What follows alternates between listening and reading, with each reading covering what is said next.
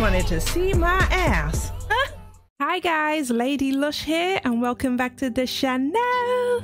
Today we've got another super quick video again. It's a tutorial on how to use the cheats to rank up your ability points as a werewolf. So we're going to go and try this straight away. So first you want to open up your cheat bar, control shift C like you see on the screen and then you've got your cheat bar at the top. Now you want to type in stats.set underscore stats space ranked capital S statistic underscore werewolf underscore progression.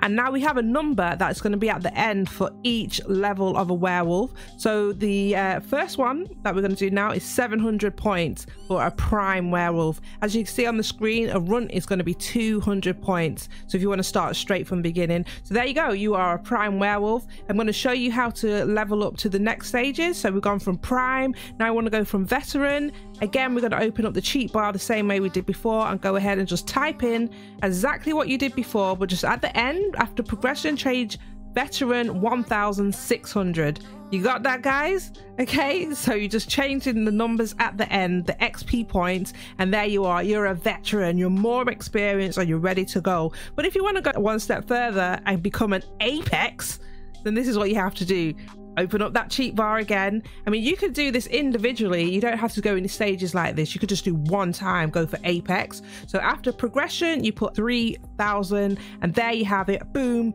Bob's your uncle. Fanny's your aunt. You're an Apex. You're a legend. You're a beast of a werewolf, guys. You just did it. You just did it with the click of a button. So look, you're cream of the crop, top of the food chain, and now you have the ability to purchase some of the um, new abilities here. So there you go. You're Apex. You can still um, progress as an Apex as well. Um, you can still do things so it's not over there for you. But there you have it. Top of the food chain, all your abilities unlocked. Choose what your werewolf wants to be. So if you enjoyed that, guys, comment down below. Subscribe if you haven't already. And don't forget to hit that notification bell if you want to be the first to see my videos when they're out, guys. Thank you so much for watching. I hope this helps you guys a lot. If it did, let me know. A big shout out to my Patreons and channel members. You guys mean the world to me. Your support is everything. And if you want to see more videos, check this one out right here and let me know what you think, guys. So good morning, good evening, good afternoon, and I'll see you soon.